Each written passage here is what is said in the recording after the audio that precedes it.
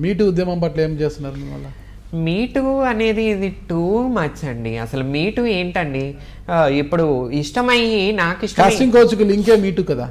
అదే నేను చెప్తున్నాను కదా.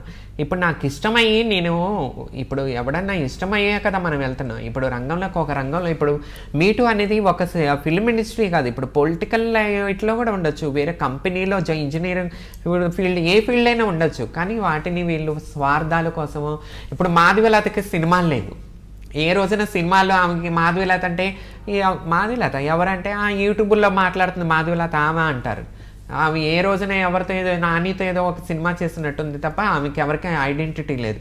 ఏంటంటే ఇలాంటి వాళ్ళకి సినిమాలు లేక ఇలాంటి మీటీలు మీటూలోను పీటూలు చెప్పుకుంటూ ఈ యూట్యూబ్ ఛానల్స్లో ఇంటర్వ్యూలు హల్చల్ చేసుకుంటూ కొద్దిగా పా జనాల్లో నోళ్ళల్లో నలగాలని చెప్పి చేసే కాన్సెప్ట్లు తప్ప వీటిలో నాకు తెలిసి నిజాయితీ ఏం లేదు. పవన్ కళ్యాణ్ గారిని కలిచాలి ఒక్కసారి కలిసి ఆయనతో ఫోటో దిగాలి అన్న చాలా కోరిక మీకుంది కదా. మరి కలిచారా పవన్ గారితో? పవన్ కళ్యాణ్ గారిని కలవాలని కోరిక పవన్ కళ్యాణ్ గారు ఛాన్స్ ఇస్తే జనసేన తరపున పోరాటాలు చెప్ పోరాటాలు పోటీ చేయాలని కోరిక అన్నీ ఉన్నాయి. కానీ యాజ్ ఏ ఒక ఒక పొజిషన్లో ఉన్న వ్యక్తిగా నేను అర్థం చేసుకుంటూ పాప ఆయనకి తినడానికే టైం లేకుండా ప్రజల్లోకి వెళ్తున్న టైంలో నేను అపాయింట్మెంట్లు అంటూ ఆయనంటూ పడుతూ నా టైం ఆయన టైం వేస్ట్ చేయకూడదని చెప్తూ నా వంతు ఎంత అవుతుందో అంత రెస్పాండ్ అవుతూ రోడ్డు మీద మాట్లాడుతూ ఆయనకు చేయాలి.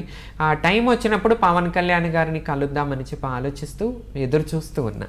ఓకే వస్తుందా టైము చూడాలి. ఖచ్చితంగా పవన్ కళ్యాణ్ గారిని కలవగలను. ఆయన మాకు అవకాశం ఇస్తారు. మా జెండర్కి కూడా అవకాశం ఇస్తారు. చట్టసభల్లోకి వెళ్ళడానికి అనే నమ్మకం మీకుందా? ఇప్పుడు తెలుగుదేశం పార్టీ ఉంది. తెలుగుదేశం పార్టీ కోట్లున్న రౌడీ ఏజానికిను కోట్లున్న వాళ్ళకే ఇచ్చారే తప్ప ఏ పేదవాడు ఎమ్మెల్యేగా ఇప్పుడు సీటు ఎమ్మెల్యే టికెట్లు ఇచ్చిన ప్ర- ఇది లేదు. ఇప్పుడు వైసీపీలో కూడా ఎక్కడ లేదు. ఆమ్ ఆద్మీ పార్టీ ఉంది ఇప్పుడు ఢిల్లీలో.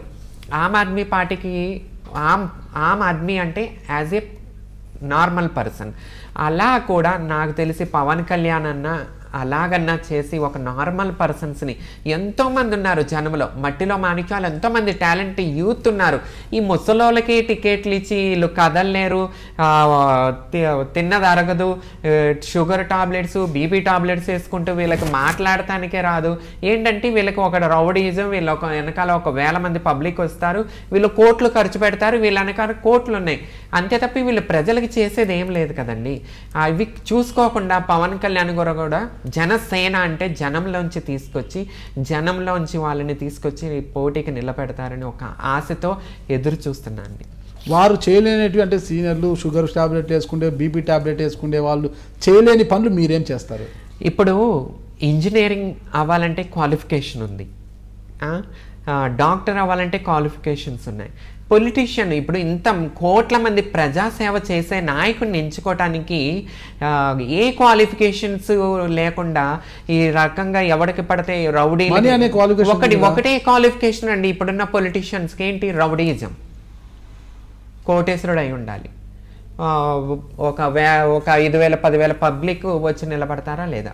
ఇవి అర్హతలు. ఇవి అర్హతలు ప్రజాసేవ చేయడానికి ఒక మెచ్యూరిటీ ఒక ప్రజాసేవ చేయాలని ఒక ఆలోచన ఒక కోరిక ప్రజల కోసం నేను నిలబడాలి చేయాలని ఒక కోరిక అనేది ఉండాలి తప్ప వీళ్ళు గెలిచే వరకేమో ప్రజల్లో తిరుగుతారు. గెలిచిన తర్వాత అదే ప్రజలు వెళ్ళి అడుగుదామన్న అన్న నాకు అపాయింట్మెంట్ అయ్యా ఎల్రా వాడికేంది అపాయింట్మెంట్ ఇచ్చేది అని చెప్పి వీళ్ళు ఏసీ కారులో వెళ్ళిపోతారు తప్ప ఏ ప్రజల్లోకి వెళ్ళి వాళ్ళ కోర ప్రాబ్లమ్స్ సాల్వ్ చేశారు. ఏ నాయకుడు ప్రజల్లోకి వెళ్ళేసి ప్రాబ్లమ్స్ సాల్వ్ చేస్తున్నారు?